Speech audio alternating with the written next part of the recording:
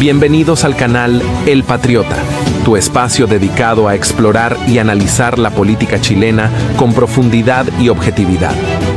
Aquí desentrañaremos los acontecimientos políticos que moldean nuestra nación, ofreciendo perspectivas informadas para fomentar el diálogo y la comprensión.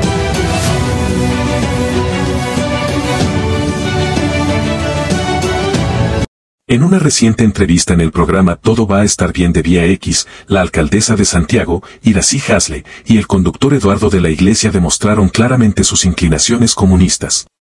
De la Iglesia, conocido activista comunista, se mostró muy amigable y poco incisivo con Hasley, lo que resaltó aún más sus preferencias políticas. Durante la entrevista, de la Iglesia le hizo preguntas sobre su gestión, los logros alcanzados, las áreas pendientes y quién podría ser un buen presidente próximamente. Sin embargo, la conversación dejó en evidencia varias falsedades y la falta de imparcialidad del conductor. En cada uno de sus comentarios, Hasley quedó en ridículo al mentir descaradamente sobre su gestión. Invitamos a la audiencia a suscribirse al canal, comprar los productos oficiales, dejar un aporte al canal con un super gracias y considerar hacerse miembros para respaldar el compromiso del patriota con la verdad y el análisis crítico.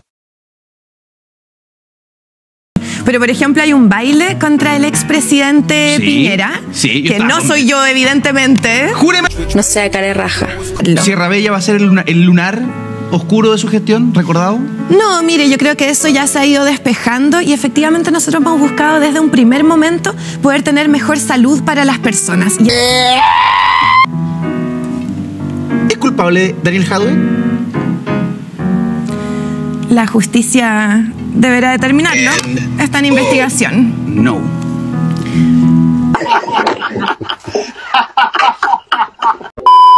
A propósito de los inventos, hay algunas fake news, efectivamente. Que yo primero las tomaba como algo, bueno, es evidente que no soy yo, pero hay gente que insiste, insiste, no tanto porque lo crea, yo creo que hay gente que tiene mala intención. Pero, por ejemplo, hay un baile contra el expresidente Sí, Piñera, sí, que no con- soy yo, evidentemente. Júremelo por Dios. ¿Creen en Se Dios? lo juro, por Dios. ¿Cree, cree en Dios? Mire, creo en las energías. Ya, eh, júremelo por la energía. Se lo juro por las energías. Es que yo estaba convencido que era usted. Y por. Siempre uno cree en, en algo eh, superior, no en una religión en particular. Pero bueno, se lo, ju- se lo juro, se lo prometo, no soy yo. Además, ni se parece a mí. Y lo que yo dije al tiro cuando lo vi, tiene una destreza esa persona que. Para el baile, ah, Para el baile usted que no no. baila así. No a ese nivel. que tiene un ranking, lo más destacado de su gestión. Lo más bueno. Partamos por, por el lado luminoso. Ya, varias cosas. Primero, la recuperación de las casas tomadas que estaban en comisión de delito. Llevamos más allá el rol del municipio y nos articulamos con las policías, con la fiscalía, la delegación presidencial y ya hemos recuperado 65 casas que estaban tomadas por la delincuencia y por el narcotráfico. O sea, de manera decidida hemos quitado este control a lugares que han funcionado como verdaderos centros de operaciones de la delincuencia. Cerramos el sector 2 del Parque Los Reyes para abrirlo a las familias. Hoy día lo pueden disfrutar, compartir y es realmente maravilloso ver cómo cambia el espacio urbano.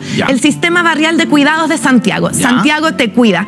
Cuidar a las personas que requieren cuidados, personas mayores, personas en situación de discapacidad, pero también a quienes cuidan, con la brigada de cuidados, con Casa Igualdad y estamos terminando el ex asilo Hermanitas de los Pobres para abrirlo a las familias con el Parque Artesana Alicia Cáceres, que es el nuevo parque que ya inauguramos en nuestra comunidad. ¿Cuál es la autocrítica que hace su gestión? Bueno, siempre se pueden mejorar eh, muchas cosas, Eduardo. Yo creo que en eso eh, siempre se puede avanzar más rápido todavía. Eh, hemos tenido ya tres años de gestión que han sido claves con la comunidad y en eso siempre podemos seguir mejorando. Deme un ejemplo. Por ejemplo, en eh, la recuperación del Parque Los Reyes. Me hubiera gustado completar el cierre completo también del sector 1 y el sector 3 en este primer periodo. Avanzamos con el sector número 2, pero queremos también poder completarlo. Sierra Bella va a ser el, luna- el lunar oscuro de su gestión, ¿recordado? No, mire, yo creo que eso ya se ha ido despejando y efectivamente nosotros hemos buscado desde un primer momento poder tener mejor salud para las personas. Y en eso tenemos un CESFAM, que es el Padre Orellana, que necesita de manera urgente otro lugar. Y consideramos junto al Consejo Municipal, con 10 votos a favor, de hecho ninguno en contra, que era una buena alternativa. Sin embargo, ante eh, lo señalado por Contraloría de que el proceso de tasación no era adecuado, nosotros inmediatamente tomamos acciones y no lo compramos resguardamos el presupuesto municipal y su patrimonio, pero también ya encontramos la solución. El CESFAM Padre Orellana va a estar en el eh, ex asilo Hermanitas de los Pobres, junto al centro de cuidados. Así que eso es algo que me hubiera encantado, Eduardo, a propósito de cosas que eh, hacer eh, en este primer periodo, de poder haber tenido ya la solución para el Padre Orellana. Va a demorar un poco más, pero ya está aprobado por el Ministerio de Salud, de hecho, que esté en el ex asilo Hermanita de los Pobres en Perfecto. Matasur. Alcalde, ¿es Chile un país anticomunista? No, no, no. Con decisión. Sí, botón rojo. Eh, ¿Es culpable Daniel Jadwe? La justicia deberá determinarlo. Está en investigación. No.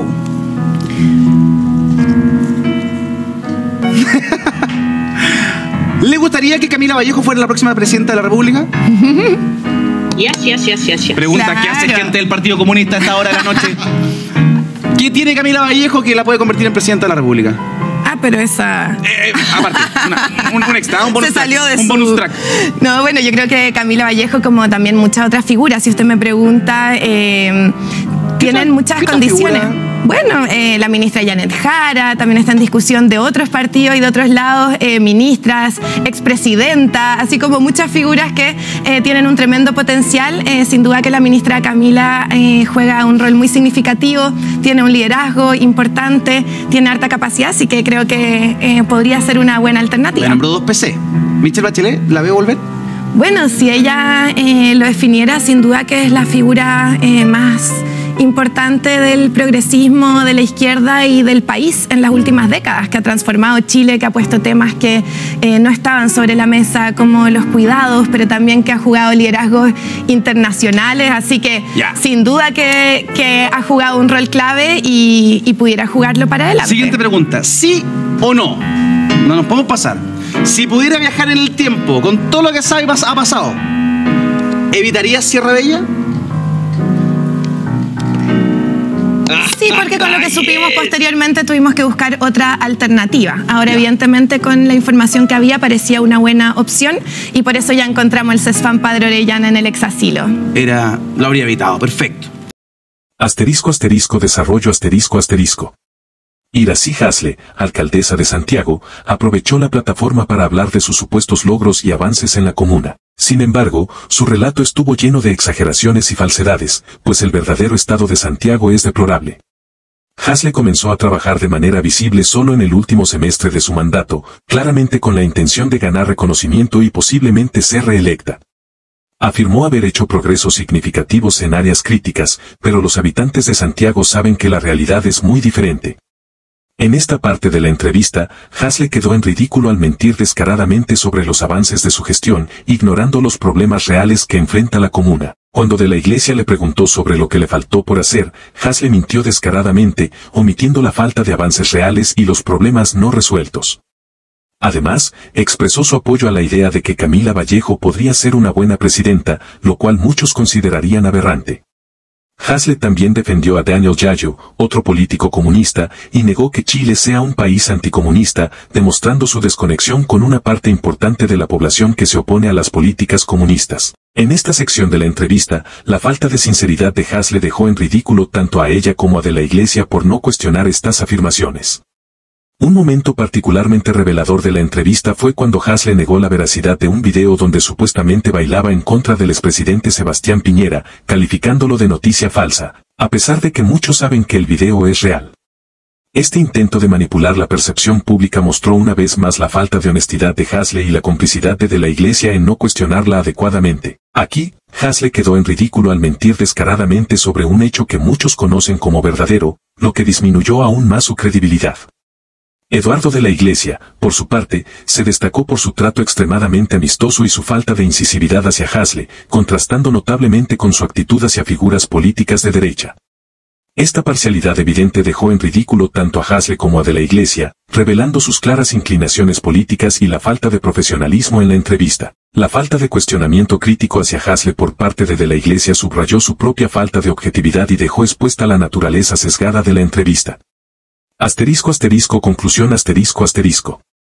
En conclusión, la entrevista de Irací Hasle en el programa Todo va a estar bien de Vía X, conducido por Eduardo de la Iglesia, fue un claro ejemplo de parcialidad y falta de rigor periodístico. Hasle aprovechó para presentar una imagen distorsionada de su gestión en Santiago, mintiendo sobre sus logros y minimizando sus fallos. Su apoyo a figuras comunistas y su negación de hechos evidentes dejaron en claro su desconexión con la realidad de la Iglesia, por su parte, mostró una falta de imparcialidad al no cuestionar adecuadamente a Hasle, revelando su tendencia comunista y dejando a ambos en ridículo ante una audiencia crítica.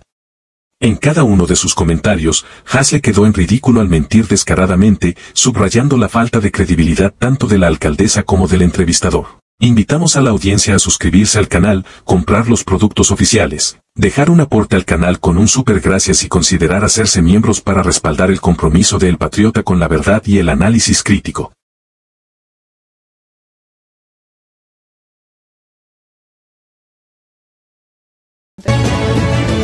Si valoras la verdad y deseas mantenerte informado sobre el devenir político de Chile, te invitamos a suscribirte a El Patriota.